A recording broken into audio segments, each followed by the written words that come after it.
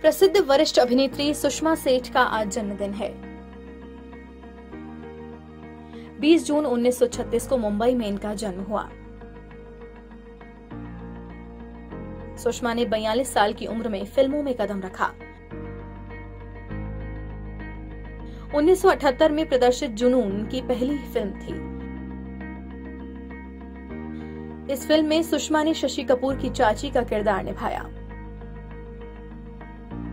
कलयुग, सिलसिला प्रेम रोग चांदनी 1942 अ लव स्टोरी एक चादर मैली सी, कल हो न हो, तवायफ, दीवाना, कभी खुशी, कभी गम, इनकी प्रमुख फ़िल्मों में शामिल हैं।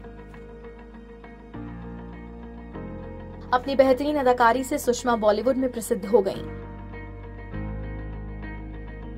उन्होंने सबसे ज़्यादा फ़िल्मों में नायक की माँ के किरदार निभाए।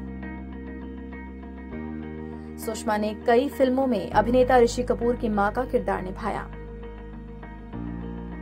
इनमें नगीना, दीवाना, बोल राधा बोल, चांदनी जैसी फ़िल्में शामिल हैं।